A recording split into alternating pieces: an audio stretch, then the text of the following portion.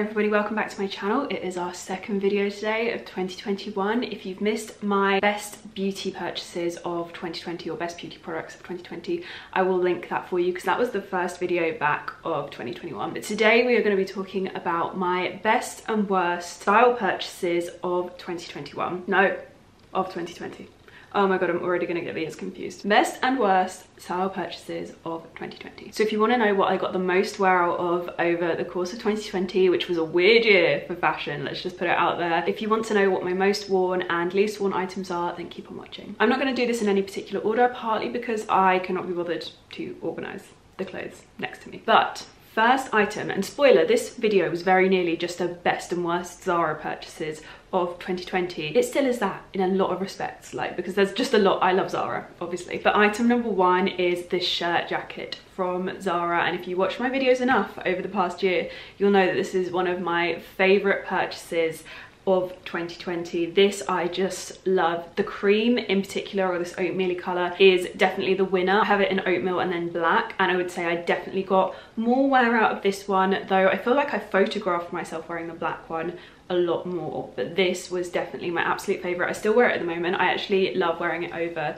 this little kind of like high neck knitted jumper. On me it worked really well as a dress but it also works really well as a shirt jacket during the autumn. I just think it's so versatile and this color in particular also the black but this color in particular will work really well in spring as well. This is definitely one of those items that is going to stick around in my wardrobe for the long term and i absolutely love it. So soft. I don't have the label in this anymore but it feels like a lovely like brushed cottony kind of material but it's a lovely shirt jacket and I loved wearing it since I purchased it in around like September time. Next up I'm going to talk about a pair of shoes and I'm actually going to show you the new pair of these shoes because my other pair are looking very very ropey. I know it would kind of attest to how much I've worn them but I just feel like we really don't need to see that on camera. So I have a fresh pair. These are the Nike React trainers. They're my favorite trainers. I've loved this range of trainers for so long now, literally for years. I've had the black pairs before and I picked up, these are the Nike Reacts, but I feel like they're like a step up from the regular Reacts. They're a little bit more expensive, but they literally are the bounciest, springiest things. Like my other pair are still going. They're still so comfy. They're still so bouncy. The only reason I'm showing you these is because these are a clean pair. I haven't even worn them out already yet, but before I linked to these back in October in my practical outfits haul, I actually purchased a second pair of these because you guys make things disappear. So I had to buy myself a second pair before they disappeared. These trainers are definitely my most worn shoe purchase of 2020. I honestly i just wore them so much. I love them. They're great for working out but also for walks as well. Back in october i did a long ass charity walk and i actually came out of it with minimal blisters i would say for what i was expecting. And i swear it is those shoes. They are literally the most comfortable shoes that i own.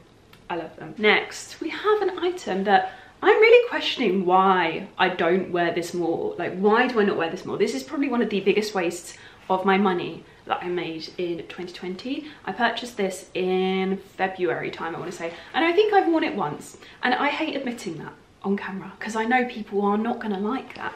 But I need to get more wear out of this. These aren't items that I'm like, I'm never going to wear these again and I wasted my money on them and I wore them on site. This is me reminding myself that I need to wear these items more because they are all gorgeous. But this is also a moment for me to take a look at maybe why I do not wear the items that are the worst purchases that I made in 2020 so much. Like why am I not wearing these? How can I learn from this in the future, you know? I'm really questioning why I don't wear this more it is the perfect color it's this gorgeous like ecru color i think one of the reasons for not wearing this is that i just don't gravitate towards throwing it on with like black skinny jeans and a black pair of boots which is how i would normally wear my leather jackets like my black leather jackets. I think this needs a little bit of something extra and i'm not sure what that is. I'm going to try this with dresses in the summer like little kind of like white dresses and see how we go.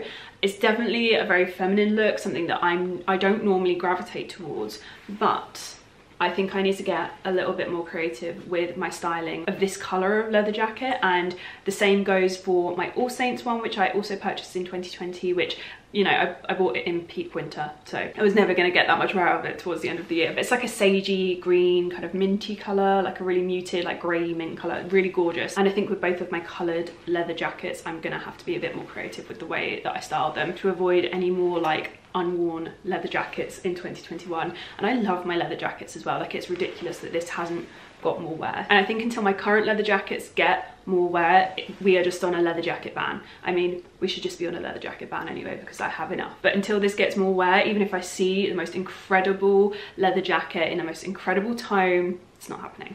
It is not happening. The next two items are denim. I'm gonna lump them both together because I bought these and loved these so much around the same time. I still love them now. I still wear them now. These are two of the Topshop denim launches from January. There were four new styles of denim and there were two that I loved so very much.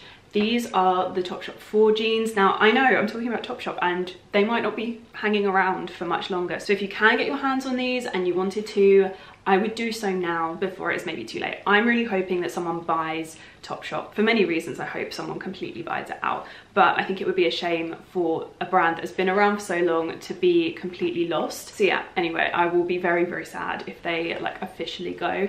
But in the meantime, if you are looking for a lovely pair of denim jeans, this pair are the Topshop 4 jeans. And as you can see, they have the most incredible stretch to them, but they're actually very thick. Like I wish you could really see how thick these are. Like unless you feel this bit here, you will not really quite understand what I'm talking about. But they're very, very thick, which if you have a lot of bloating here, like lower stomach, like I will never ever, ever wear these around my very bloated times of the month because my lower belly is just like you know, it's swollen enough as it is and it doesn't need the extra like thickness that these jeans have. Outside of that week of the month, I love these so much. I love the kind of distressed bleaching to them like I just love this. It's so lovely. It gives your body a really lovely shape and they're a really lovely skinny jean. I roll mine up a little bit just because my legs are slightly non-existent. But yeah I love them. They've got a belt loop which is something that a lot of the Topshop jeans were missing for so long. They've got lovely big pockets on the back. They're like a very traditional denim in a very traditional like denim tone but they're so comfortable to wear. I just love them. And i wear them a lot with the topshop tank tops which i'm not sure if they still do. And i had those in black grey and white and they just worked so perfectly with both these pairs of jeans the other pair of jeans. I love these so much. But if you are looking for a brand that does a sustainable version of these NU-IN are where it's at. I actually need to order a new pair of my NU-IN denim jeans because i'm not getting so much wear out of them at the moment because they are so big on me. This pair are actually slightly more in terms of like a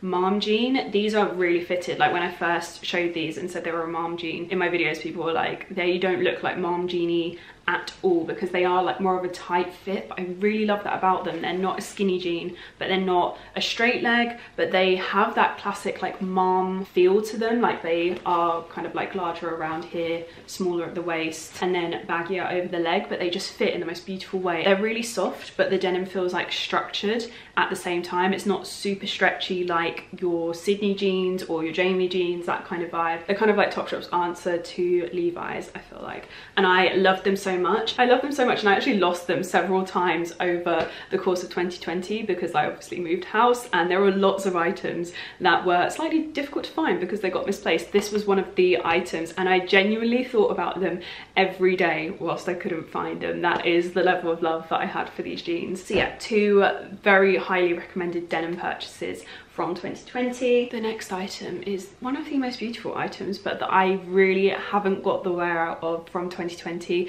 and I did purchase it more towards the end of 2020 but for the price of it I really should have been getting so much more wear out of it than I sadly have over the past few months. Maybe this will be more of a springtime one because it is a lighter coat. This is from All Saints. It's this gorgeous like light dustery trench coat but with padded sleeves which I just I just love. It's this beautiful like muddy khaki or khaki if you're from the US color and I love it but I just really haven't got the wear out of it yet. So this so far has been an absolutely terrible purchase. Maybe that will turn around for the springtime. Let's hope so. Because otherwise this was definitely one of the worst ways I've spent my money in a very, very long time because this was expensive. I'm very sad as well because I've generally had very, very good luck with All Saints and had purchases from them that just last and that I love year after year. But that one could potentially be an anomaly for me, sadly. Next we are moving on to what I feel was an iconic purchase for me of 2020 like when I look back at 2020 and I think about things that I purchased and things that I loved wearing things that I love wearing that shocked me as well this is one of them. This has actually got a jumper underneath but it's a gilet from Zara and I picked it up because I thought it would be a very practical purchase and I was right. And I got so much wear out of this over autumn. This is also a great one for winter when it's really cold because I can stick this on underneath a coat as well. Though I have got another coat purchase here that has been keeping me very toasty so this has not been entirely necessary yet. But it is so cold right now that I probably will end up wearing this undercoat very very soon. The gilet is from Zara and it is like peak dog walking chic for me. I love it. And I will get so much more out of this in the spring. It's been a great one for me as well when I'm just like needing to nip into the garden, whether it's because I need to like my really boring life chores of like composting and mowing the lawn and doing stuff to my like veg beds. This is one of those really useful items in terms of that. And I love the fact that it has this zip bit around the collar as well. And there's actually a little hood in there in case it rains. I know what you're thinking. This is not my kind of typical purchase that you would see on this channel. But this year I really did adapt my lifestyle a lot because of all of the changes that we've been going through, all of the lockdowns.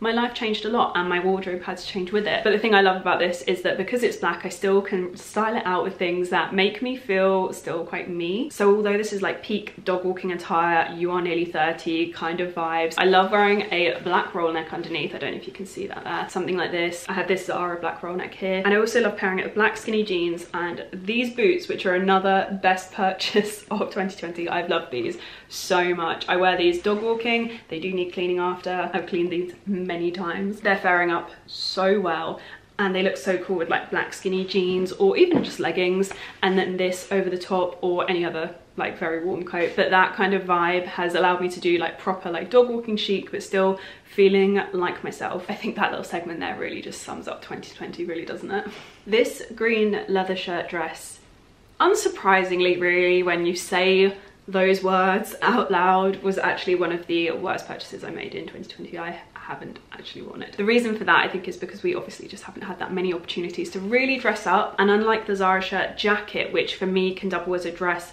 but also as like an overshirt but also as like an actual jacket and a like loose open shirt as well this is not so versatile. I think maybe if I was super tall it would work out because it would kind of double as a shirt jacket that kind of vibe but it's way too long on me to even be considered as a shirt jacket and so I think because of the lack of versatility I just really haven't had the opportunity to wear it so much, which is so sad because I was so excited about it when I first bought it. But sadly, this has just not been the year for this one. However, I am going to keep it in my wardrobe because I think it is such a gorgeous piece and I will see if we get more wear out of it this autumn. But sadly, this has been one of the worst purchases that I made of 2020. Hopefully by now you'll see what I mean when I say this was basically a best and worst Zara purchases of 2020. I'd love to BS you all and say that I have made a resolution to shop less on Zara in 2021, but I actually made an order the other day. It's due to arrive actually any minute now. Moving on, I'm going to talk to you about something that is not from Zara. This is a long line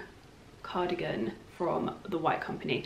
I bought a lot of long cardigans, like maxi cardigans or do we call them maxi cardigans? Yeah, I bought a lot of them in 2020. It started out with the grey Pretty Little Thing one, which we all loved. Every time I wear it, I get so many DMs on it and I love that one so much. I have one from ASOS, which I adore. However, it does get like a little bit fluff on me, which is fine. That's what lint rollers are for. But my favorite cardigan purchase of 2020 has got to be this one, which I purchased from White Company and literally have not stopped wearing since the start of December. Throughout December, I honestly would get up, put on like a black thermal top, some black leggings, pair of slippers, and then this, and that was that was me done. This is so warm, so soft, doesn't like shed anything onto my clothes. It is the perfect like biscuity, gorgeous nudie tone. I absolutely love it. It has pockets as well, which really really? That was the winning factor in this for me. It's basically the cardigan version in a more biscuity like neutrally color of my mango cardigan that we all love so much. This is like the indoor version of it and i just adore it and i know that it's going to be